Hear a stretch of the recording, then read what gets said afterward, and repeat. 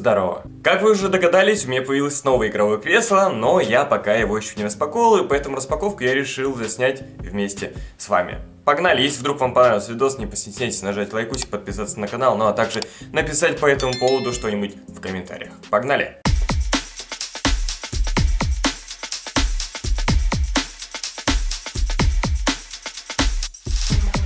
Данное кресло от компании Canyon, и давайте его распакуем.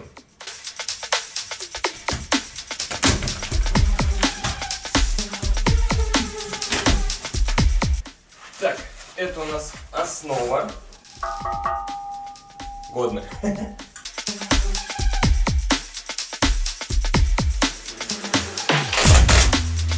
Где подушечки? Обожаю подушечки. Так, ну, в целом все на месте, поэтому я думаю, что его на изи сейчас можно будет собрать.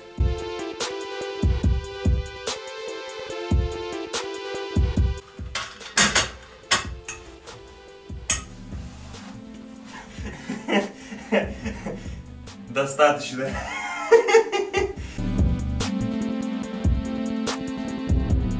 Блин, вау. Просто я, я ожидал, что здесь всегда будет вот такая штука, а здесь и такая. Блин, годно.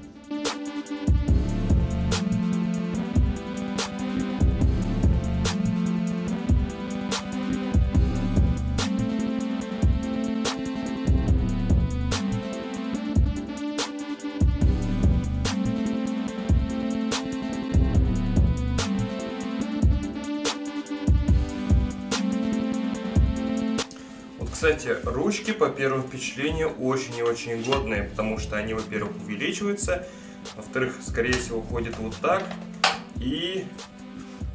и, пожалуй, все.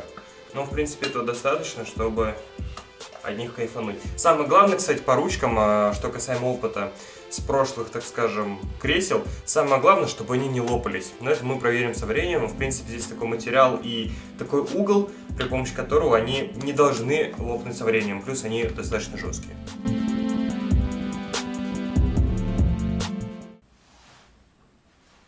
Блин, где ключ? Ты же должен был где-то здесь. Оставить. Самое фиговое еще то, что у меня все темное в комнате, я нифига не вижу. Ключ был тут. О, господи.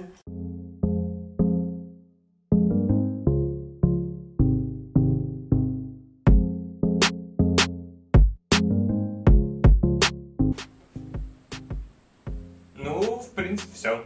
Так, ну, я думаю, пришло время оценивать кресло и делиться первыми впечатлениями. В первую очередь, я думаю, что на него нужно так вот присесть удобненько и, и понять, насколько оно комфортно.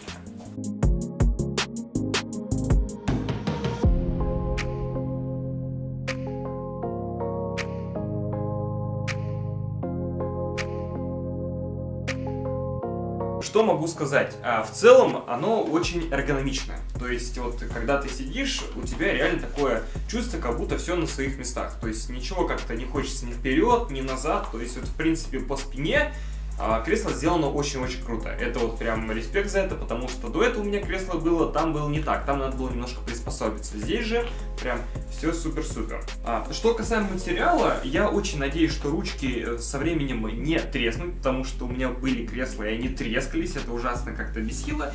Но здесь же, опять же, я думаю, что материал и угол, он не даст такой проблемы. Ручки здесь, э, по сути, ходят в разные стороны, это тоже очень удобно, потому что, опять же, на старом моем кресле такого не было. Это очень прикольно, по- поверьте, потому что для разных ситуаций э, разное расположение, это классно.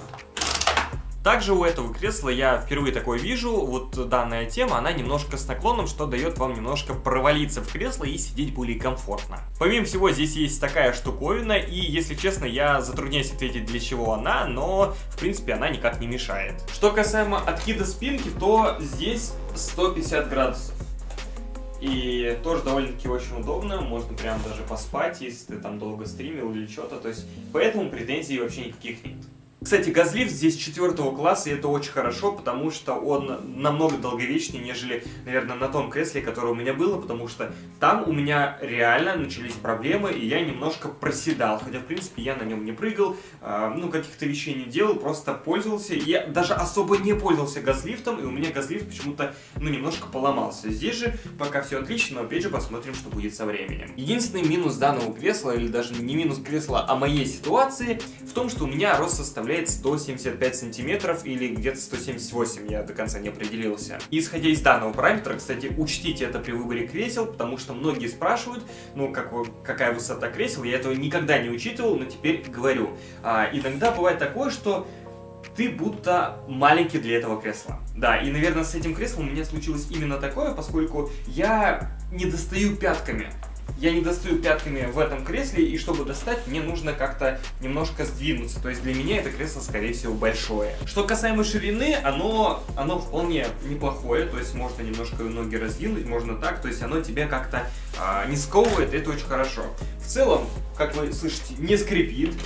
Ножки, они довольно-таки тоже тихо ездят, потому что были ножки, в которых э, металлик гремел, но здесь такого, в принципе, не намечается и очень классно. Единственный еще трабл данного кресла заключается в подушке, а именно в ее комплектации. Я не знаю почему, но у этой а, подушки нету лямок. Я привык, что на креслах есть лямки, а именно у этой подушки, и как-то, чтобы она нигде не болталась, не терялась, я всегда ее как-то вешал на кресле, и, в принципе, все. В целом она тоже удобная, но, наверное, и без нее тоже очень хорошо, я считаю. Вот, но почему лямок нет, э, не знаю, для меня это как бы маленький минус. Вот. А так, в целом, довольно-таки неплохое кресло. Так, ну а теперь об особенностях данного кресла. Если что, у этого кресла пена холодной формовки, то есть сиденье его, скорее всего, не просядет. Материал это высококачественная эко-кожа, что со временем не обдерется. Напоминаю, что здесь 3D подлокотники, надежный газлифт 4 класса и максимальная нагрузка данного кресла составляет 150 килограмм. И самое главное, данное кресло стоит 27 тысяч рублей, и многим может показаться, что данное кресло стоит дорого, и цена у него какая-то неподъемная. Но в и в Eldorado существует раз рассрочка на данное кресло именно от компании Canyon, и вы можете взять кресло, расплатиться потом, и самое главное, не переплачивать какие-либо проценты.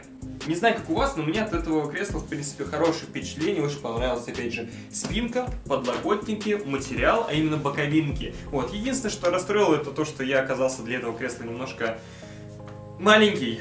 Вот, но придется расти. В общем, на этом вот такой вот видос. Если он вам понравился, ставьте лайки, подписывайтесь на канал. Обязательно пишите мнение о данном кресле. И большое спасибо за просмотр. Пока-пока.